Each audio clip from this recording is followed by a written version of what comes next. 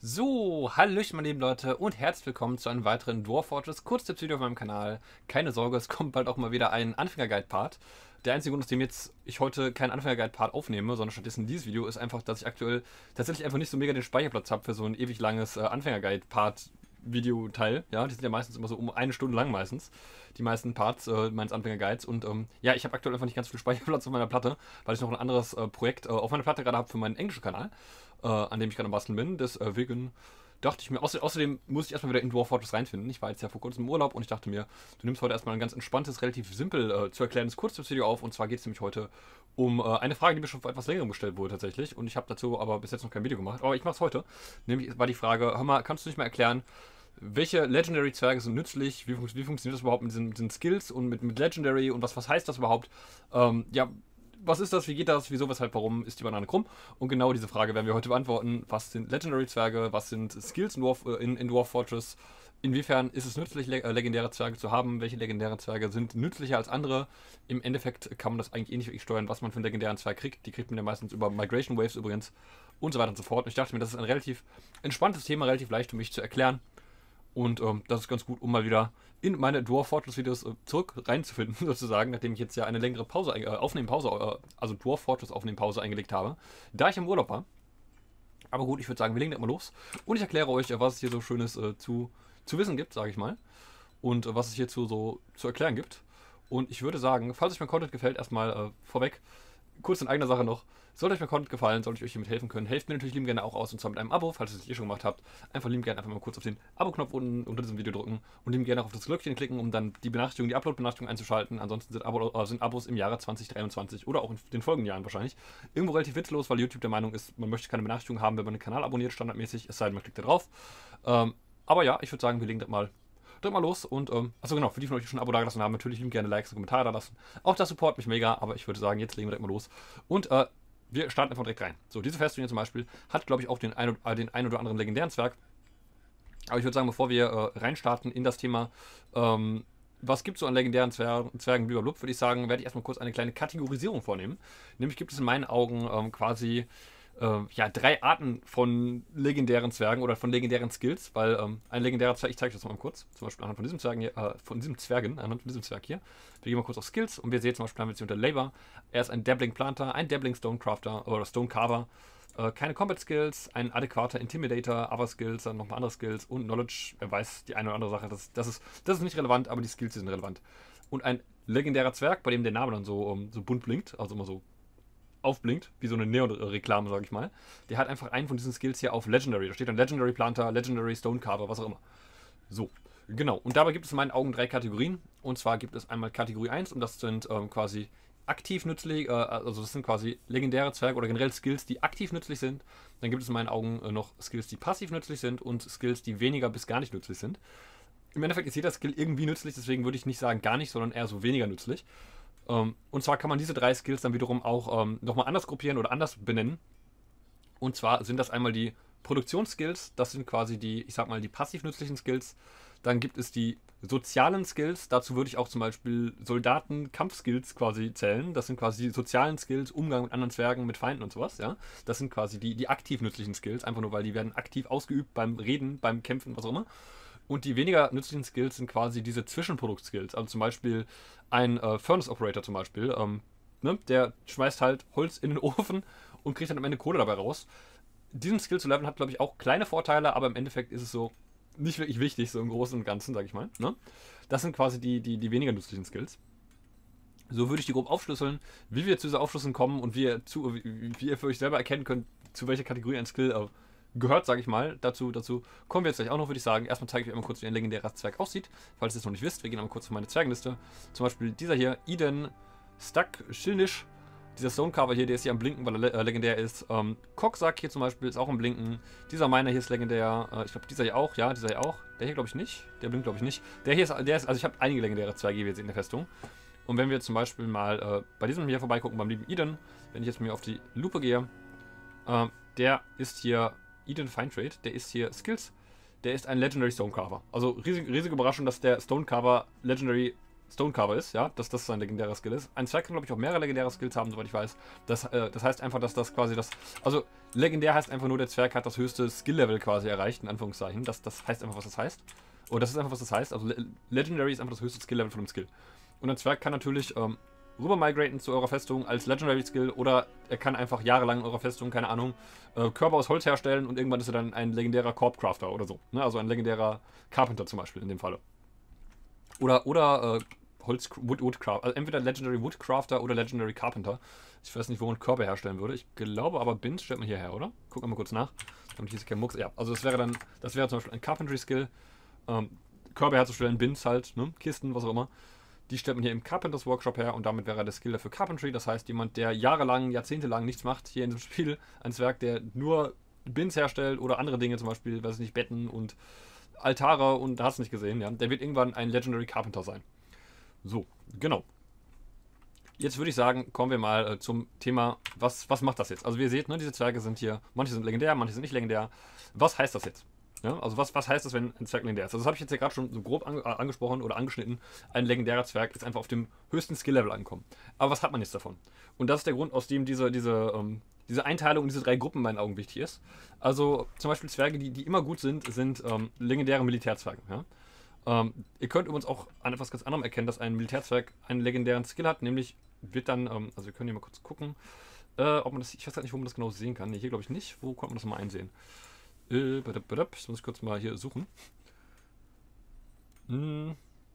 Ich würde einmal kurz einen kleinen Cut machen wollen, eventuell sogar. Warte mal, sind meine Militärzweige gerade in, in, in Business hier? Ne, sind sie nicht. Äh, dann kann ich das, glaube ich, eh gerade gar nicht zeigen, weil die gerade quasi in Zivil rumlaufen. Man kann auf jeden Fall, also woran ihr erkennen könnt, dass ein Militärzweig quasi ein, ein legendärer Militärzweig ist, ist ganz einfach ähm, ein, ein Axe-Dwarf, also ein Axtzwerg, ja. Das ist ein normaler Axtkämpfer. Ein Axe-Lord, also ein Axt-Lord, ja. Das ist quasi, das heißt einfach, der hat, ich weiß nicht, ob, es egal ist, welcher Skill genau legendär ist oder ob es definitiv der, der, der Axtkampf-Skill quasi sein muss. Aber ein Axtlord ist quasi ein leg äh, legendärer Militärzwerg, ja. Und so als relativ simple Faustregel, damit ich mal kurz uns einen hier aussuchen, zum Beispiel den Rimta hier. Äh, ne, warte, wir suchen uns. Äh, Kel, Kel Nugret, so, wir nehmen einfach den Kel Nugret, keine Ahnung, wir nehmen es auf irgendeinen von diesen Militärzwergen hier. Ähm, die sind schon relativ lange im Einsatz, glaube ich, die Militärzwerge hier. Wir gehen mal auf Nehmen. Äh, Kel Nugret. Wo ist er denn hier, der Kellhammer? D, C, E, F, G, I, Kel, da ist er. Kel Nugret, Chief Medical Dwarf. Wir gehen mal kurz hier drauf, der pondert gerade äh, embryologische Entwicklung. Okay, sehr interessant. Anyways, ihr seht, das hier ist ein, äh, der ist ein legendärer Mechaniker und wenn wir jetzt hier mal kurz auf Skills gehen, ist er aber auch ein Legendary Fighter, Legendary Observer und ein Legendary X-Dwarf, wie ihr seht. Also der ist hier legendär in quasi allem. Und das, wie ihr seht, ne, der hat alle möglichen Skills auf legendär. Logischerweise kam er nicht als legendärer Zwerg zu der Festung und ich würde sagen, ähm, Combat Skills auf jeden Fall sind immer gut zu haben. Ja? Und der Grund dafür ist ganz einfach, das hier sind quasi die, die nützlichsten legendären Skills. Also logischerweise, wenn ihr jetzt ähm, Axtzwerge habt und ihr, habt, äh, ihr bekommt als, als Migrant bekommt ihr einen legendären, keine Ahnung, ähm, einen legendären Hammerzwerg, ja, dann müsst ihr dem vielleicht entweder einen Hammer geben und mit einem Hammer, mit einem Hammer ausrüsten oder halt er hat dann halt nicht die Kampferfahrung mit der Axt, weil der hat dann wirklich nur die Erfahrung mit dem, mit dem, mit dem Hammer natürlich. Aber grundsätzlich ähm, ist es bei, und das sind auch Skills, die mit, glaube ich, sich mit am einfachsten trainieren, sage ich mal. Also automatisch, passiv, weil ja die ganze über am Üben sind, ne? wenn man denen das sagt. Deswegen, das geht relativ schnell, dass man hier legendäre Zwerge hat. Und das sind auch mit die nützlichsten legendären Skills von allen im Spiel, würde ich sogar sagen. Ähm, einfach nur, weil ähm, das hier einen sehr noticeable Unterschied macht. Das macht einen bemerkbaren Unterschied. Ja, also ein legendärer Kampfzwerg der wird teilweise von, weiß ich nicht, drei Goblins beschossen mit, mit, ihren Armbr mit ihren Armbrüsten oder Bögen oder was auch immer und der dodgt dann. Also der weicht allen Pfeilen aus. Keine Ahnung, wenn er getroffen wird, ist er vielleicht schon abgehärtet vom, vom Kampftraining und nimmt dann nicht ganz viel Schaden. Ähm, der schlägt selber härter zu. Ähm, er kann selber, glaube ich, auch ein bisschen mehr wegstecken. Er kann definitiv besser ausweichen. Also logischerweise. Also ein, ein, ein legendärer Kampfzwerg ist einfach um einiges besser als ein nicht legendärer Kampfzwerg. Und das ist eine der nützlichsten legendären Fähigkeiten. Und wie gesagt, das würde ich so in, in den Bereich soziale Fähigkeiten packen. Nicht alle sozialen Fähigkeiten sind, sind so nützlich, ja. Also, äh, was zum Beispiel natürlich auch gut ist, ist zum Beispiel bei eurem, ähm, bei eurem Bookkeeper, der sollte natürlich äh, ein äh, guter Bookkeeper sein. Also er sollte gut im Bookkeepen sein. Äh, früher, aber das ist auch so ein Skill, der sich von alleine hochtrainiert, indem man einfach bookkeept, logischerweise, ne? Aber logischerweise, umso besser euer Bookkeeper ist, umso genauer sind hier eure, eure Stockzahlen hier, eure Stocks hier oben. Umso genauer sind die halt logischerweise. Ähm, bei eurem ähm, Trader übrigens, da gibt es glaube ich auch ein, zwei Skills. Ich glaube, ähm, also ich bin mir nicht ganz sicher, welche Skills beim Traden wichtig sind, aber so Sachen wie, ich glaube, Judge of Intent, ähm, ich glaube, Negotiator ist dabei wichtig, ähm, Persuader eventuell auch, also so Trade-mäßige Social Skills sind bei diesem Zwerg logischerweise gut zu haben. Ja? Also auch da. Aber das ist eher situational, die sind eigentlich nur bei einem Zwerg wirklich wichtig, logischerweise. Ansonsten gibt es auch natürlich auch so, so, so, lustige Dinge wie, keine Ahnung, Singen und Tanzen. Hier, Dabbling Dancer, ähm, Dabbling Wordsmith, keine Ahnung, falls ihr eine Festungsbibliothek habt, dann wollt ihr natürlich auch da Leute haben, die gut schreiben können oder gut Poesie vortragen können. Es kann natürlich ganz praktisch sein, wenn sie gute Students sind. Ich glaube, dann lernen sie eventuell schneller von anderen Zwergen. Auch das kann natürlich ein Vorteil sein. Also logischerweise, ne, diese Skills sind natürlich auch bei manchen Zwergen ganz gut, aber die sind natürlich um einiges weniger gut wie die Main sozial, sozial Anführungszeichen, ja. Sozial im Sinne von, äh, ich bin ein sozialer Mensch und hacke äh, Menschen, die ich nicht mag, äh, äh, die ich nicht mag, den Kopf ab, ja. Insofern man das alles, oder Zwergen, die ich nicht mag, ja. In, in, oder, oder Goblins in der Regel eigentlich, ja. Ähm, insofern man das als, als sozialen Skill bezeichnen kann, aber in diesem Spiel würde ich das schon irgendwo als Kategorie sozial Aktiv-Skill auf jeden Fall. Also als eher als, als, als Aktiv-Skill halt bezeichnen. Als so, sozial ist eher zweitrangig, aber es ist halt ein aktiver Skill. Ne? Ähm, das ist so einer der wichtigsten Skills aus, aus dieser Kategorie. Äh, ansonsten würde ich aber sagen, die andere wichtige Kategorie sind halt diese passiv nützlichen Skills und dazu gehen wir jetzt mal über. Würde ich sagen, ich, ich, ich glaube, diesen Bereich habe ich ganz gut abgefrühstückt und erklärt, glaube ich. Also ihr versteht jetzt, was ich meine. Logischerweise, ähm, Kampfzwerge sind immer gut zu haben. Ich glaube, der hier war auch mal, war mal Kampfzwerg und dann hat er sich, glaube ich, irgendwie das Bein gebrochen oder so. Nee, war er nicht. Nee, nee, nee, das war kein Kampfzwerg. Äh, wer, wer war das denn? Der hier? Der hier, ja. Also logischerweise, ne, legendäre Kampfzwerge sind, gut, äh, sind, sind, sind immer gut zu haben. Ähm, legendäre ähm, Passiv Skill-Zwerg aber auch. Und der hat uns auch lustigerweise auch äh, unter anderem auch einen mehr oder weniger wichtigen Passiv-Skill, nämlich Legendary Mechanic. Ähm, das zum Beispiel ist auch noch ein. Das ist ein Skill, den würde ich zwischen, äh, zwischen somewhat useless und Passiv-Skill einsortieren. Ähm, denn wir gehen jetzt über zu den, zu den Produktionsskills, also generell nicht nur zu den nützlichen, sondern auch zu den, unnütz, zu den unnützen Produktionsskills. Ähm, denn das hier ist quasi zutreffend für sowohl nützliche als auch unnützliche Skills unnütz, also unnütz in Anführungszeichen. Ein legendärer Zwerg ist immer schneller drin, seinen Job auszuführen. Das heißt zum Beispiel, wenn ich jetzt diesem Zwerg hier sage, yo, stellen wir mal äh, äh, Mechanisms her, also ne, Micha, ne, der soll mir seine Zahnräder herstellen, damit ich mir daraus Fallen bauen kann zum Beispiel. Und einem Zwerg, der das noch nie gemacht hat, der Zwerg, der das noch nie gemacht hat, braucht wahrscheinlich zwei oder dreimal so lange, wenn nicht sogar noch länger, als dieser Zwerg, um, um einen Mechanismus herzustellen. Ne? Das ist schon mal ein riesiger Unterschied. Und der andere riesige Unterschied ist die Qualität. Ja, also dieser Zwerg hier stellt, ähm, wenn wir mal kurz nach Mechanismen suchen auf meiner Festung, schauen wir mal kurz. Also äh, ein Zwerg, der es noch nie gemacht hat, stellt wahrscheinlich einen Mechanismus wie diesen hier her. Ich suche mal kurz nach einem. Die haben jetzt hier noch einen Plus daneben, dann haben sie ein Minus und zu guter Letzt haben sie, glaube ich, nichts mehr daneben stehen. Äh, so, ne? also ein, ein ungelernter Zwerg wird wahrscheinlich irgendwie so einen so ein Mechanismus, äh, so ein Mechanismus herstellen, also von normaler Standardqualität oder vielleicht ein Minus-Mechanismus, also der etwas besser ist. Oder so ein Plus-Mechanismus vielleicht auch noch. Und ganz, ganz, ganz selten vielleicht bessere Qualität auch noch. Äh, ein legendärer Zwerg allerdings wird wahrscheinlich fast immer oder sehr häufig solche Mechanismen herstellen. Also mindestens hier so ein, ne, so ein Stern hier oder diese drei, drei, drei Striche. Oder auch häufiger mal so einen hier mit so einem richtigen Zahnrad-Icon daneben, also so, so, so, so ein Masterwork halt entsprechend.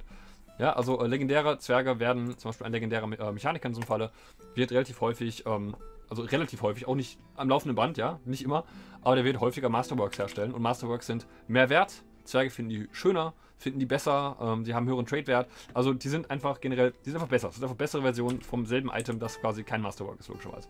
Ja, also ich macht glaube ich Sinn soweit.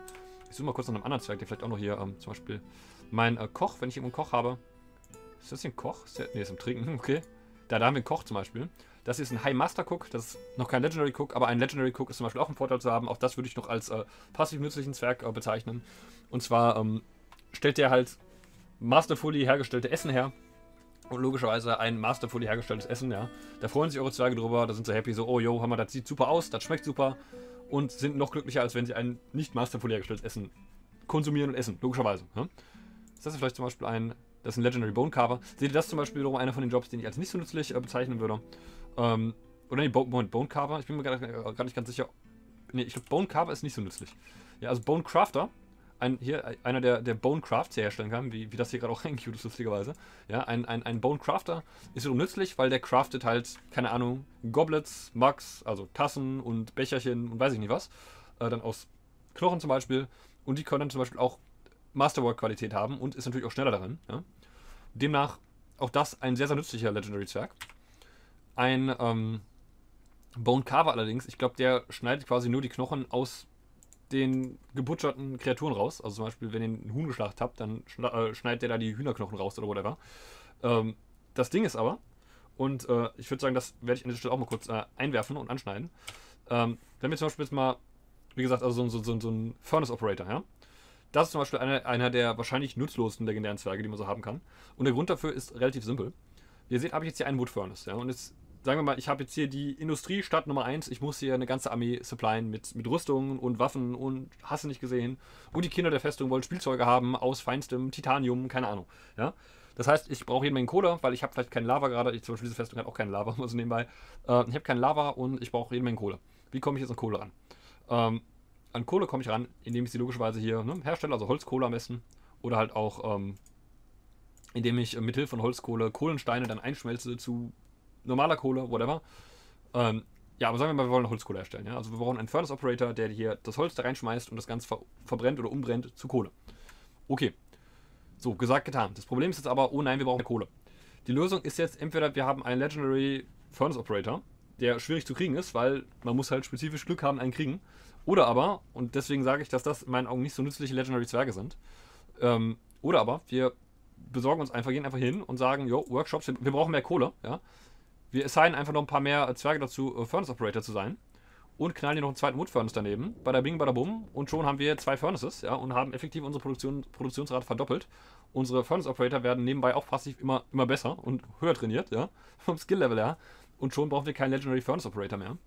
Ähm, wobei das natürlich wiederum dann nicht geht, ist wiederum zum Beispiel bei der Herstellung, wie bereits gesagt, ja, wenn wir zum Beispiel einen Legendary Weaponsmith haben, ja, den können wir nicht einfach ersetzen durch einen zweiten Zwerg und einen zweiten Workshop, weil der Legendary Weaponsmith produziert halt qualitativ zum einen schneller und zum anderen qualitativ hochwertigeres äh, Equipment.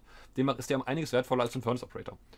Äh, und jetzt würde ich sagen, ähm, gibt es noch äh, eine weitere nennenswerte ähm, Art von Legendary Zwerg, äh, beziehungsweise zwei mehr oder weniger. Bin überlegen. Ja, wobei ich, ich würde sogar fast sagen, das ist vielleicht noch so, so, so eine, so eine, ähm, so eine vierte Kategorie mehr oder weniger. Und zwar ist das ähm, der Utility Zwerg, sage ich mal, oder die, die, die, das sind die Utility Skills, ne? die, die, die einfach generell nützlichen Skills. Was immer gut ist, ist einen Legendary Miner zu haben. Zum Beispiel ein Legendary Miner ist einfach um einige schneller da rein. Also das ist kein produzierender, ist, ne, kein produzierender Job, aber ein Legendary Miner baut schneller ab, logischerweise. Also wenn ich jetzt hier sage, so, jo, den, den Gang hier, also hoppala, ich eigentlich nur. So, wenn wir jetzt sagen, keine Ahnung, diesen Gang hier und diesen Gang hier, die sollen bitte ausgebuddelt werden. Und den hier buddelt quasi nur ein Legendary Miner von vorne bis hinten durch und den hier buddelt ein ungeskillter Zwerg durch.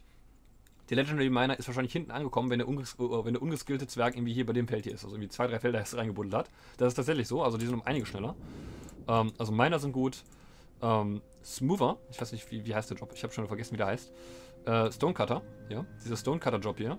Einen guten Stonecutter zu haben, ist auch ähm, den kannst du auch in, in, Gold aufwiegen, einen guten Stonecutter, ja, weil der, der Stonecutting-Job, der dauert Ewigkeiten, ja. Es dauert Ewigkeiten, bis eine einzelne Karre ge, äh, gestonecut ist und gesmoothed ist.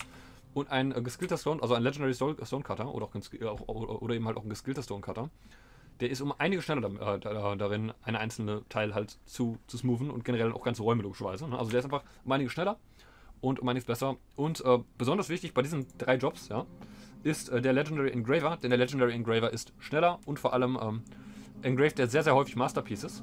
Und ähm, es gibt einen riesen, riesen, riesengroßen Unterschied zwischen ähm, einem Masterpiece ähm, Engraving. Ja, also zum Beispiel, wenn ich jetzt hier einen ungeskillten Zwerg, ist, keine Ahnung, wir gehen mal hin und sagen mal hier, so, keine Ahnung, ungeskillter Zwerg engraved hier.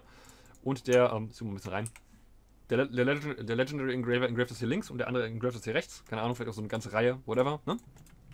Sagen wir mal, wir haben jetzt irgendwie einen Nobelraum und ne, engraven da jetzt halt irgendwelche lustigen Dinge rein. Ähm, ja, wie gesagt, also das macht einen riesigen Unterschied. Weil in der Regel will man ja meistens engraven, um zum Beispiel einem Noble seinen Raum schmackhaft zu machen, weil er sagt so, oh, mein Raum ist so hässlich, oh nein, ich brauche schöne, schöne Möbel und der muss engraved sein und generell überhaupt, ja. Und ein Legendary Engraver wird wahrscheinlich, keine Ahnung, bei, also es ist tatsächlich so, bei gefühlt ähm, ein, einem von drei oder vielleicht sogar zwei von drei Engravings kam bei mir oftmals einfach Masterpieces raus, also so Masterworks, ja. Und diese Masterworks sind absurd viel Geld wert, dafür, dass es einfach nur stumpfe Engravings auf dem Boden oder auf einer Wand sind halt zum Beispiel. Deswegen, äh, das lohnt sich mega.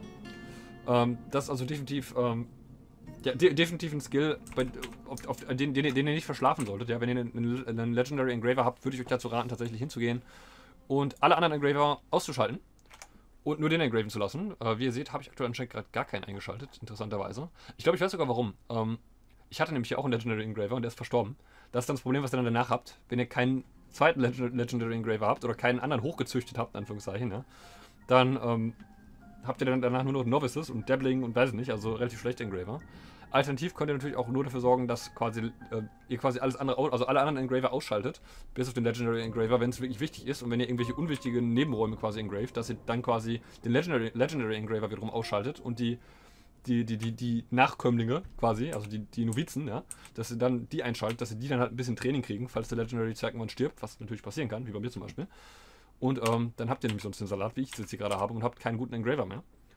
Äh, und natürlich auch noch ein weiterer Zwerg, äh, der in meinen Augen auch noch ähm, nennenswert ist jetzt hier in dieser Kategorie der Utility Skills, sag ich mal, ist der ähm, Juwelenzwerg, ja, also der, der, der, ähm, der Gem Setter vor allem, ist das glaube ich. Ne, der Gem Cutter glaube ich auch. Generell alle Gems, also alle Gem Ne, also die, die, die, diese, diese ganzen Dekorierjobs quasi. Es ist natürlich gut, einen Zwergen zu haben, der gut die Gems vorbereiten kann, die schön so in schöne Form schneiden kann. Das ist natürlich Gold wert, weil dann ist der Gem viel wert und wenn der Gem viel wert ist, ist natürlich auch woran auch immer man den dran bringt, äh, ist das auch automatisch viel mehr wert. Und ich glaube, es spielt auch eine Rolle, wie gut der Gem-Setter ist, also wie gut derjenige ist, der den Gem, also den Edelstein quasi wirklich auf den, keine Ahnung, ähm, auf den Rock Throne aus, aus Opalstein oder was auch immer, ja. Ähm, wie gut der Zwerg ist, der den quasi daran anbringt, das ist glaube ich auch noch wichtig.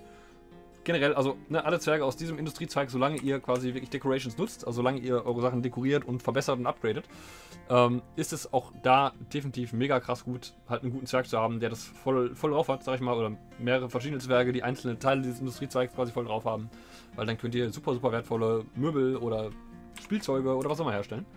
Ähm, und zu guter Letzt ähm, noch als ähm, als äh, Honorable Mention, I guess, als äh, kleinen äh, Zusatz hier. Wie gesagt, ich finde soziale Zwerge nicht so wichtig, keine Ahnung. Äh, es gibt genug, im Endeffekt gibt es genug Möglichkeiten, Zwerge glücklich zu machen, sag ich mal, und äh, vorzubeugen, dass sie mega angry und böse werden. Ähm, aber grundsätzlich glaube ich zumindest, dass sowas wie zum Beispiel ein Zwerg Skill, naja, ja, okay, das, das, könnte vielleicht auch gut sein, ich weiß es nicht.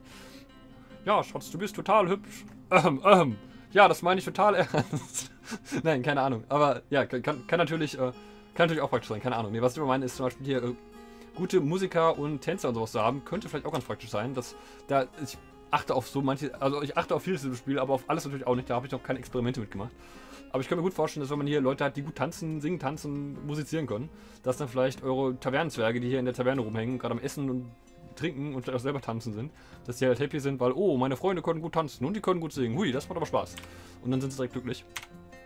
Ähm, ja, ne, also das kann natürlich nicht schlecht sein, aber ich glaube, ähm, persönlich, wie gesagt, in Sachen soziale, aktive Skills sind definitiv die Combat-Skills am, am, äh, am, am, wichtigsten, sag ich mal, oder am, am, angenehmsten, mehr oder weniger. Aber gut, ich würde sagen, irgendein Zwerg hat hier seinen ganzen Raum zugeschmissen mit, mit, mit Essen. Das ist einer von meinen Militärzwergen wahrscheinlich. Wegen einem komischen Bug, dass sie, dass sie ihr Backpack immer in ihrem Raum entleeren, weil, oh, das Essen gehört jetzt mir, es war in meinem Backpack. Da steht jetzt mein Name drauf. Ich habe ihn reingegessen. Ich habe da so in Form meines Namens Essen rausgebissen und deswegen ist es meins oder so ähnlich, keine Ahnung. Naja, aber gut, ich würde sagen, das wäre es glaube ich auch schon fürs heutige Video. Ähm, wie gesagt, ich habe auch nicht erwartet, dass es jetzt ein mega langes Video wird, wie, wie sonst oft meine Videos. Ähm, es ist im Endeffekt für das, was es ist, eh schon relativ lang, aber ich habe dafür auch relativ, ich denke mal, ich habe relativ ausführlich äh, alles einmal angeschnitten, was es so zu wissen gibt zum Thema legendäre Zwerge und Skills und generell. Ähm, Too Long Didn't Read, TLDR, in meinen Augen sind am nützlichsten. Zum einen legendäre Militärskills, aber die kriegt man eh relativ leicht. Also, ne, man kann wie gesagt eh nicht wirklich steuern, welche Zwerge man äh, als Migranten kriegt, logischerweise, als Migrants. Ähm, aber ja, Militärskills sind immer gut. Ansonsten, Engraver sind mega nice. Äh, Miner sind gut. Woodcutter auch, schätze ich mal, die habe ich jetzt vorhin vergessen. Ja, aber Woodcutter sind natürlich auch, aber dann wiederum keine Ahnung, wie oft, wie viel Holz muss man wirklich, also wie viele Bäume muss man wirklich fällen und wenn man viele fällen muss, dann auch da, ne, ist wieder so, so ein Ding, da kannst du dir auch einfach noch einen zweiten Woodcutter halt noch hochzüchten zur Not oder drei oder vier oder fünf, keine Ahnung. Wenn man eine riesen Holzindustrie hat, dann macht man das halt einfach so. Ähm, ja, aber ich glaube, dass das, das, das wäre es im Großen und Ganzen. Ich hoffe, ihr versteht, was zumindest meine persönliche, also es ist natürlich als meine persönliche Meinung, ja, ist natürlich rein äh, sub subjektiv, sage ich jetzt, war das jetzt nicht die, die eine Wahrheit, sage ich mal. Andere Leute haben da vielleicht auch andere Präferenzen. Aber ich denke, es macht irgendwo Sinn, legendäre Zwerge so zu präferieren, sage ich mal. Wie gesagt, man kann es eh nicht wirklich steuern. Ja, also Zwerge werden nach und nach einfach besser in ihren Jobs und Migranten kann man sowieso überhaupt nicht steuern. Also man kann eventuell sogar bestimmte Zwerge anfordern, teilweise. Äh, hier über den, den Worldscreen dann von seinen eigenen Siedlungen und schlag mich tot. Ähm, ja, ne, aber abgesehen davon, man, man, so wirklich aktiv steuern kann man es nicht. in, in der Regel hat man früher oder später halt eh relativ, A, relativ viele legendäre Zwerge und wenig überraschend sind es legendäre Zwerge äh, in Dingen, die in eurer Festung halt viel gemacht werden. Ja, also zum Beispiel in meiner Festung gibt es wahrscheinlich eine gute Menge an guten legendären Farmern, würde ich mal vermuten. Wie ihr seht, habe ich viele Farmer und Köche. Legendäre Köche wird es viele geben. Es gibt einige legendäre Miner. Die gibt es in fast jeder Festung, weil man viel meinen muss. Ähm, Engraver gibt es früher oder später auch meistens mindestens einen ganz guten, oder er stirbt wie bei mir. Ähm, man hat in der Regel früher oder später auch einen ganz guten Carpenter immer. Wie gesagt, also in der Regel hat man früher oder später halt logischerweise geskillte Zwerge in den Dingen, die in der Festung viel und oft gemacht werden. Das ist halt einfach das Resultat daraus, dass die Dinge viel und oft gemacht werden. Die Zwerge werden halt darin besser. Genau wie auch ihr in echt zum Beispiel, wenn ihr viel Gitarre übt, dann werdet ihr irgendwann gut darin sein, Gitarre zu spielen oder Klavier, dann Klavier. Oder wenn ihr viel Matheaufgaben löst, seid ihr irgendwann gut in Mathe. Ist, ist ja, ne, selbsterklärend. Oder wenn ihr viele meiner Videos guckt, dann wisst ihr immer ganz viel über, über, über, über Dwarf Fortress Bescheid. um, um, mal ein weiteres Beispiel einzustreuen. Ähm, aber gut, ich würde sagen, das wäre es soweit fürs heutige Video. Ich hoffe, ich konnte euch einige neue Dinge näher bringen oder ihr versteht jetzt einige, äh, ein, einige Dinge besser über, über das Skillsystem in Dwarf Fortress. Ich glaube, die einzige Sache, die ich nicht erklärt habe, ist, wie sich die Skills, doch habe ich eigentlich, eigentlich eh schon, wie gesagt, also dadurch, dass ein Zwerg irgendwas macht, ne, wird er halt besser drin. Das habe ich jetzt mehrfach so nebenbei, ich habe es jetzt nicht aktiv so, ja, genau so funktioniert das, so wird ein Zwerg besser darin, seinen Skill auszuüben. Aber ich habe es halt mehrfach so anbei angemerkt, dass ja, wenn ein Zwerg etwas, etwas tut, dann, dann wird er besser drin. Also so werden Zwerge besser in den Skills und das passiert quasi eher auf natürliche Art und Weise in der Regel. Ähm, ja, wenn noch irgendwelche Fragen zum Thema offen sind, ich bin überlegen, ob ich noch irgendwas vergessen habe anzumerken, aber ich, ich glaube eh nicht. Deswegen, äh, solltet ihr noch Fragen haben, klatscht sie mir lieben gerne ähm, in die Kommentare. Solltet ihr keine Fragen haben, dann nicht. Dann schreibt mir lieben gerne in die Kommentare, ey, das Video ist voll cool oder ey, das Video ist voll doof. Und zwar, weil, weiß ich nicht.